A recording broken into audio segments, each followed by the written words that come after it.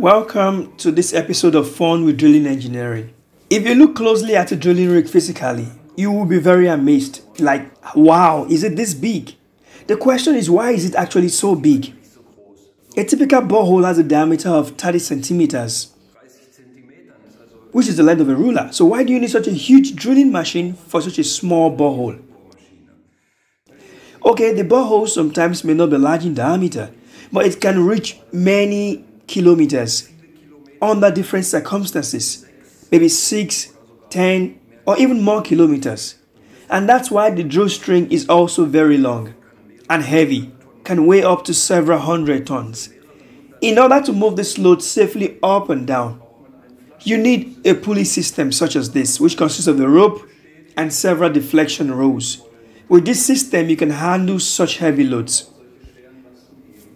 Here we can see a pulley system hanging in the mast here.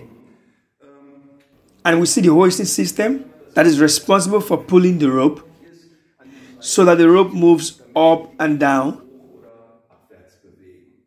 Here in our own model derrick, we can also see small pulleys which is used to move the rope up and down, just like you can see here. I'm trying to move it, yes, and that's how it works. Now, this is a challenge because the rope must be very heavy and strong to lift heavy loads. It has relatively large diameter. An example here is this I'm holding. It is anything but flexible. It's like a steel rod. It does not easily bend and is very strong.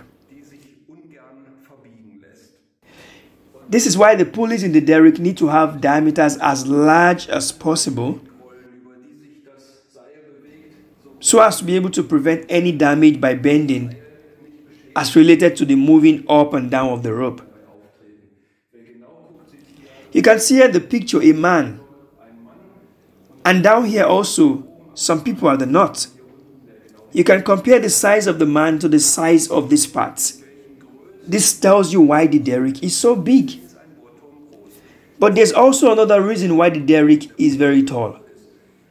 After some days of drilling, the bit gets blunt and you have to remove the whole drill string out of the borehole to exchange the drill bit.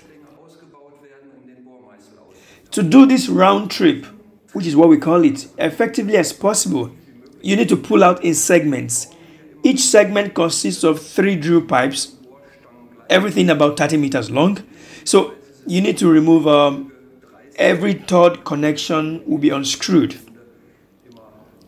And after unscrewing them, they are placed in the derrick. So each pipe segment, 30 meters long, is placed in the drilling rig. Hence, you can imagine the height of the derrick. We also have uh, other manufacturers with alternative hoisting systems. For example, you can use hydraulic cylinders in the derrick for moving the string up and down. Or you can also use a rack and pinion system to have the traveling block drive up and down the mast. You can also place the drill string elements on the well sites by the drilling rig instead of placing them vertically in the derrick. Or you can use automatic pipe handling systems to make this procedure effective. We will see in the future if these modern hoisting systems will gain more market share compared to the conventional pulley hoisting systems. We will consider the development in our lecture Basics of Drilling Engineering. If you find this interesting, please come to Freiberg. We look forward to see you. Glück auf.